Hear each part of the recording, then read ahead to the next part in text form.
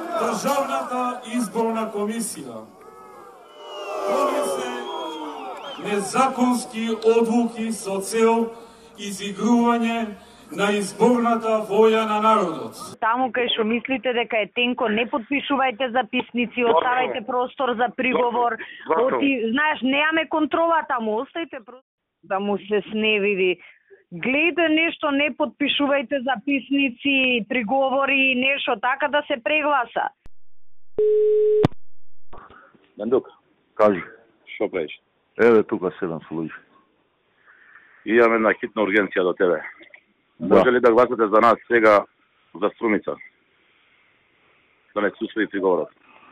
У комисија? Да, у ДИК. Може. Еве да се јавам одмah. И нема да ги признае резултатите од оваа.